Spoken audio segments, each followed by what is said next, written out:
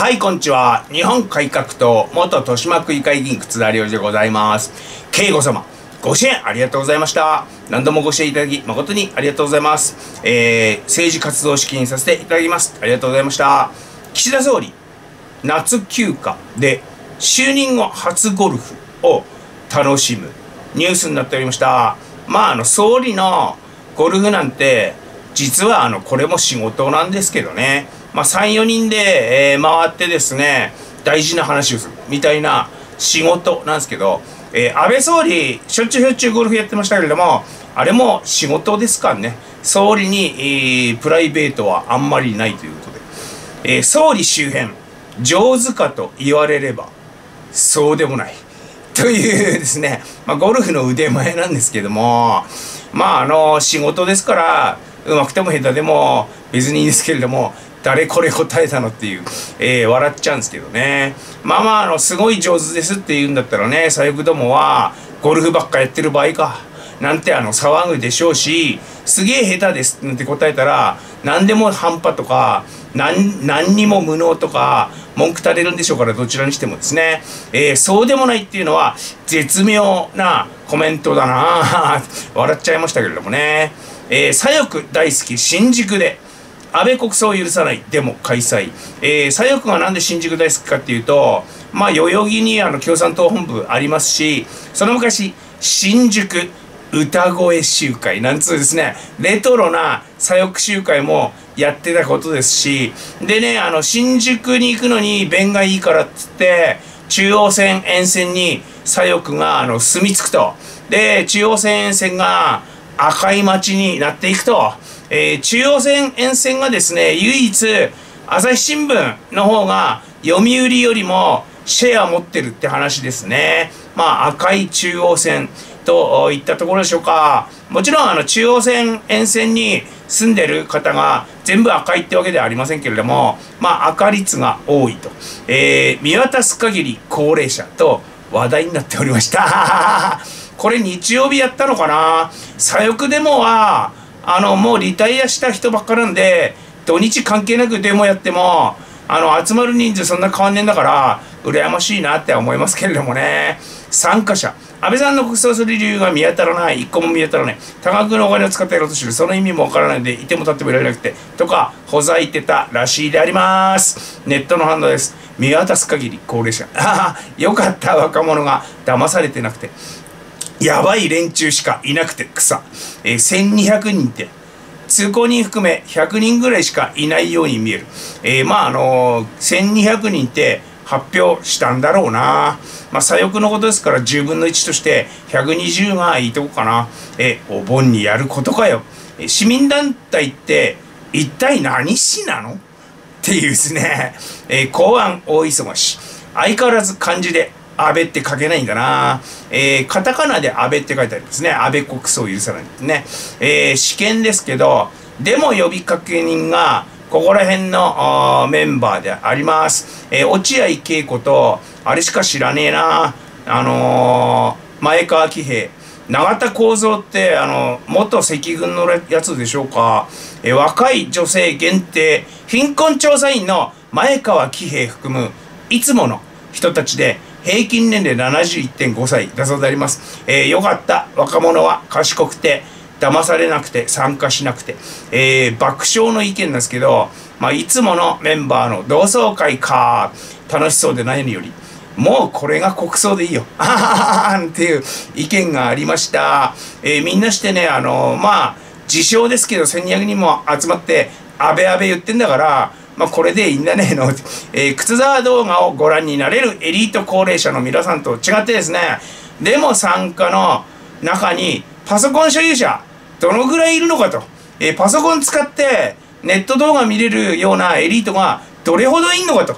えー、まあね、あの、呼びかけには騙す側ですから、そいつらは持ってそうですけどね、安倍と漢字で書けないのは相変わらずであります。えー、国葬あがめろで、散々バカにされたのを気にしてんだが、国葬やめろに改善になっておりました。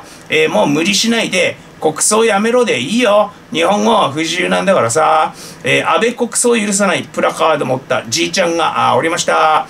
えー、いつまでやってんだろうね。あの、安倍総理に依存しすぎじゃないのこの人ら。依存しすぎ。えー、この人、安倍安倍しか言うことねえのかっていう感じなんですけどね。死ぬまで、まあ、あの、安倍安倍やってろって感じ。やってろって感じ。えー、安倍総理を神格化してるのは、むしろこいつらではいつまでも安倍安倍言っててさ、えー、こいつらに許してもらわなくても、全然いいですよね。安倍国葬許さないとか、何様だって話なんですけど、こいつらに許してもらわなくても、別にいいですよね。えー、国葬国葬って言うけど、行われるのは国葬儀が正式だって、えー、一般人の葬式じゃなくてですね、外交儀式、外交式典なんだな、えー、自分の意に沿わない税金支出は許せないって主張らしいんですけども、そんなことを言ったらね、私らだって、立憲、共産、社民、令和、公明なんかの政党交付金や議員報酬許さない。だよね。自分のあの、反対するものに税金使わせたくないっていうのがまかり通ったらさ、こいつらのあの、議員報酬、税金使われたくねえんだわ。俺らもね、えー、共産議員報酬許さない。とかも言えるわけだ。このあの、理屈で言うとね。えー、あとね、何に消えてるか詳細不明の男女共同参画費10兆円とかな、えー、こういうのも許せませんよね。国葬は民主主義の破壊とか言ってるらしいんですけど、これあの国葬をやってる全ての国に喧嘩売ってますよね。えー、オーストラリア政府がですね、最近亡くなったオリビア・ニュートン・ジョンさんの国葬を決定したそうなんですけど、これも民主主義の破壊ってことなのかな。そんなの完全にね、僕の考えた最強の民主主義みたいなオリジナル民主主義が過ぎんでしょ。どこにあんのそんな民主主義って話。えー、オリジナルは大体尊重されますけど、どこのね、あの世界でもね、そんなオリジナルは尊重されねえわ。えー、間違ってるし。えー、困った人に優しい政治。共産党怒りの違法ポスター貼り。沖縄県屋外広告物条例違反を指摘されてしまいました。えー、これあの条例違反です。撤去してくださいみたいなシールをペタンと貼られてしまいました。えー、ネットの反応です。困った人たちだね、本当に。困った人はお前ら。困ってます。共産党に。決まりを守れない連中が政治とか、えー、法律守る気がない。そのくせ憲法守れとか、一切説得力がない。行政を困らせたらあかんで。え、共産主義者。民主主義者が作った法など守れるか？法律破る俺かっけー。盗んだバイクで走り出すが許された昭和じゃねえんだからさ。頭が悪いままですね。何十年も無駄に過ごしてしまった。70代党員の仕業なんでしょうけどこういうことをやって惹かれる。ますます世間から乖離する。居場所がなくなる。共産党界隈しか歓迎されなくなる。世間は分かってくれないとますます先鋭化する、えー、ますます世間に惹かれ誰も近寄ってこなくなる。ますます居場所がの無限ループに何十年も陥ってます、えー、豊島区のあの共産議員たちも首位からドン引きされてましたけど本人たちは分かってなかったようで、えー、議員同士の何かっても絶対に誘われないこと受け合いであります。共産党議員はね。ハンギョレ新聞。佐渡金山徴用工14人が厚生年金に加入した事実を確認。強制動強制動員の実態を立証する重要な証拠になる。見込みなんて生きって報道しちゃいましたけれどもね。なんか日本のあのおせっかい市民団体、えー、一体何市だよ、っていうですね、市民団体が、あのー、調査に行ったんだって、で、発見したそうなんですけれども、ネットの反応です。相変わらず自爆。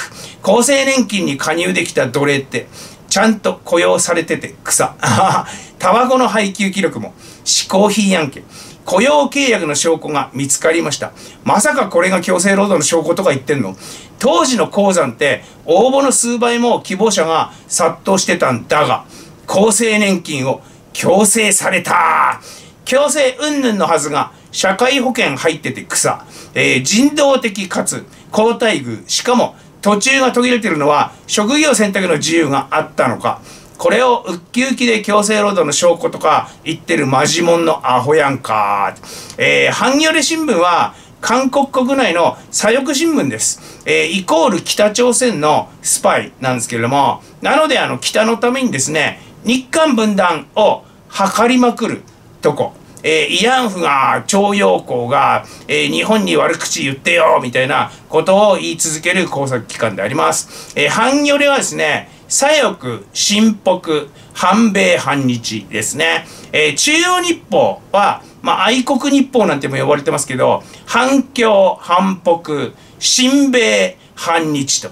まあ、あの、右も左も反日なんで、まあ安心しますね。すり寄ってくんなって話なんですけど、右も左もですね、どっちのあの大統領が当選しても、だってパククネ、千年恨むとかほざいたパククネは一応右ってことになってんだから韓国内ではね。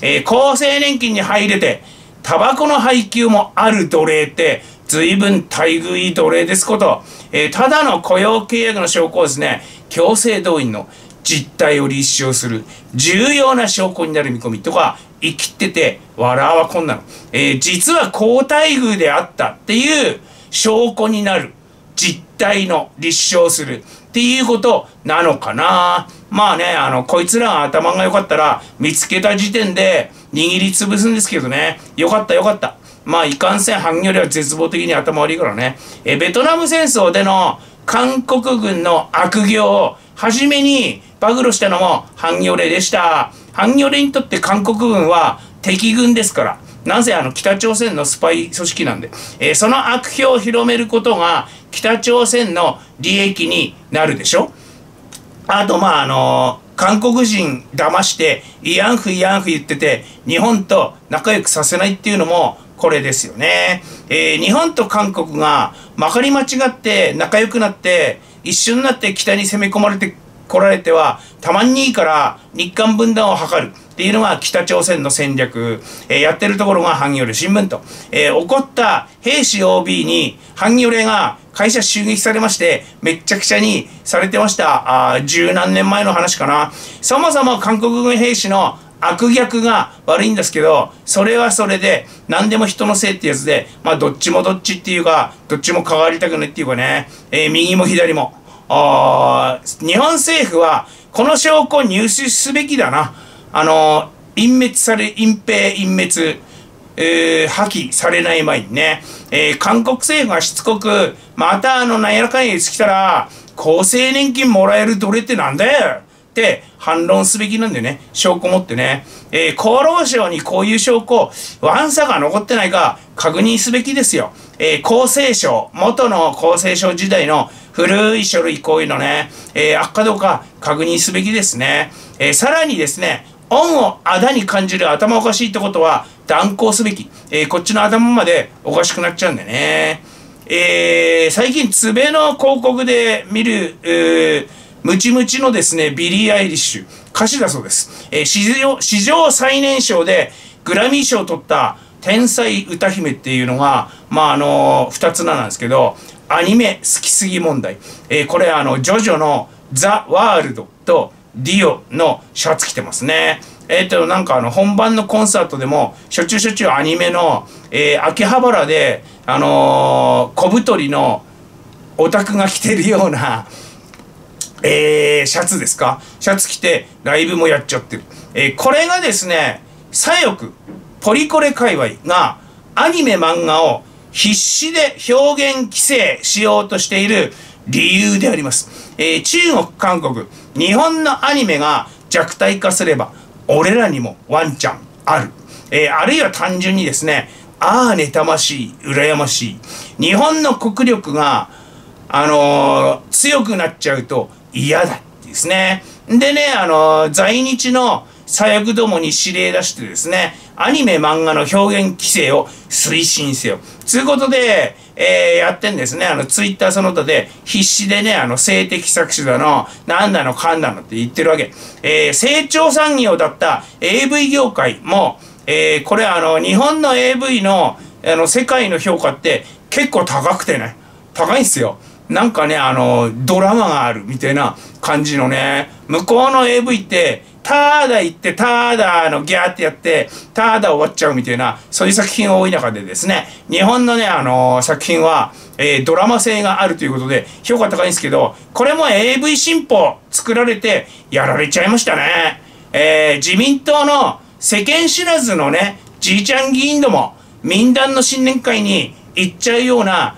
何にも分かってねえ、無知の、無知猛昧な、じいちゃん議員たち、これ知っとけよ。えー、外国の、あれだからなって、あのー、工作だからな、えー、漫画、アニメの表現規制しようとしている勢力はね、えー、それに気づいた赤松さんって漫画家が、えー、立候補してくれて議員になってくれましたけれども、本当ね、あの、自民党の何にも分かってね、無知もうまいな、じいちゃん議員たちは、しょうがねえなーって、早くあの、引退して分かってる人に取り替わってくんねえかな、えー、つくづく思います。えー、というわけで、メール党員様大募集、えー、あとはあの、地区支部長立候補予定者大募集であります。よろしくお願いします。デトックスジャパン。